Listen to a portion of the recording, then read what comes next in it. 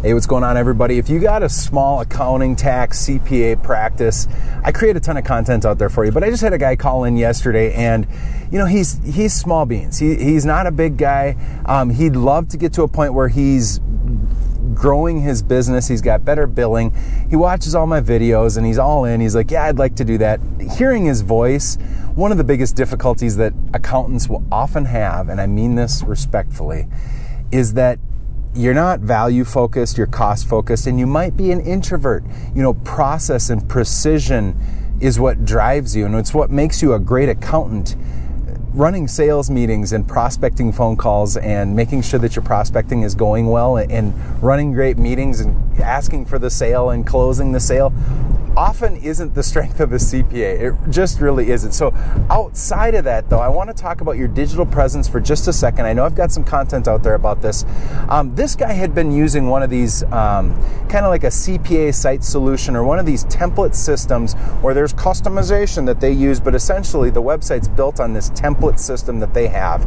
And he was wondering, you know, I looked at some of your sites, I saw your website, and I liked it, and I saw some of your clients' website, and boy, that looked way nicer than ours. And I sent them over um, Asnani CPA out of San Francisco or Hayward, California, A You know, that's a nice site that we built with, with decent conversion and some basic SEO stuff in there.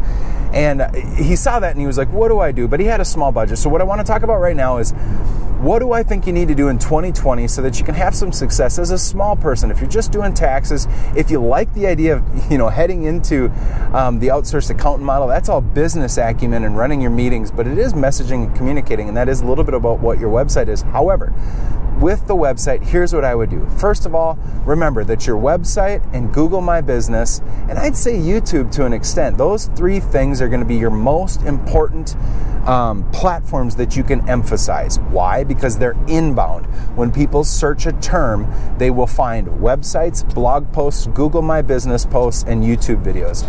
They will find your Facebook page, but usually not from a generic term search. It will always be a branded search. So if you search your name, which is great, you know, that's like searching Jostens rings. I'm driving by the Jostin thing in Edina here, right? Um, Jostens website, Jostens Facebook and Instagram and YouTube are going to pop up. But if I were to search jewelry, you know, custom jewelry Minnesota, it's probably not going to be their Facebook page that pops up. So the idea here is that's called a branded search when someone search, searches your name or your brand. Well, yeah, you can win with that, but Facebook, Instagram, LinkedIn, all of that does not pop up in any organic search engine results in Google or Bing, and that's incredibly important. Um, YouTube videos will, and people do go to YouTube. I'd say that YouTube is is the second biggest search engine out there. Um, now, am I biased towards it because it's really helped my business? Absolutely. But what's cool about it is that it can bring you know your tone your personality your expertise you can teach on there you can answer questions and it it, it can be higher end production or it can be authentic. And that's going to be my next point. So um, focus on the inbound website, YouTube, and Google My Business you have to go to the Google My Business account. You need to get reviews. Anybody that you've serviced, you need to get them to show you or show the world that they trust you. So you need to ask for a review, ask for it early, and then follow up with it and make sure that you are asking for reviews and getting reviews. If you get more reviews than your competitors in an authentic, trustworthy, integrity-based way, you're going to win. If you, if don't cheat, whatever you do, don't cheat, don't lie, don't don't do not play games with Google My Business. Don't open up in PO boxes. You know, if you have an address, do an address. Do not push the envelope with Google My Business at all because it is an area you cannot afford to have shut off. And there's enough fraud going on in Google My Business that if you play games with it, they're shutting people down. And even if you just start changing your address too much, or I'm telling you, be very careful on Google My Business. Do not play games with them. But be posting in there, put pictures in there, optimize it, put your services in there, write some descriptions, connect it to all of your other accounts, um, which is a whole other thing. I'd put a footer of it pointing to it in, in the footer of your website, some, some real basic stuff. Then on your website, make the website you. Don't use a bunch of stock photography. If you're going to use stock photography, at least have it be stock photography from your region. I'm a big believer in people need to come to your website. Now, there may be a feel and a smell and a spirit about your branding that you want to bring about. That's for that's for great branding. If you can do great branding, do great branding. We do that with folks.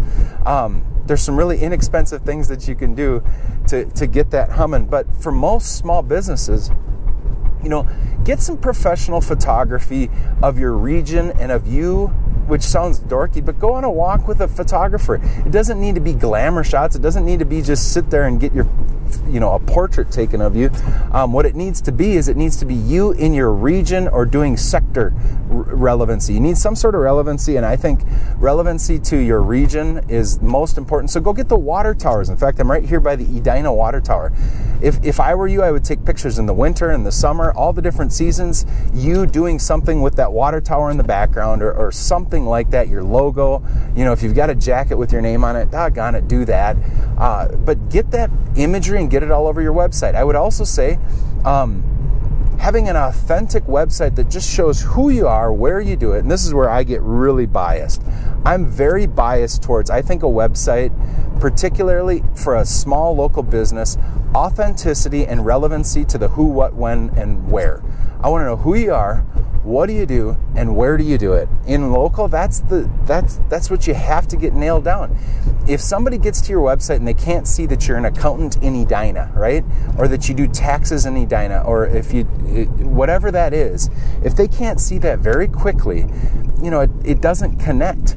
So if you can have some sort of imagery that's just authentic the communication is you you know don't be overly formal if you're not overly formal but if you're a formal cpa and accountant which you might be um, that's totally fine. But having a template site with all sorts of stock photography and articles that you didn't write and don't really mean anything to you, you know, that's that's not worth it. It needs to have your voice. It needs to communicate to your um, customer. Which that's the last thing I would add is that your website needs to talk about the sectors and segments that you actually do work in. Don't focus so much about who do you need to. Uh, who do you need to focus on? All of that crap. What you need to do is you just got to be you. If you be you and you do the right optimization, it'll work. Get you know, give me a call, Rob at feedbackwrench.com. Um, I'd love to. We set your site up. We do your digital footprint. We can do advertising for you. Good luck in everything that you do. Talk to you later.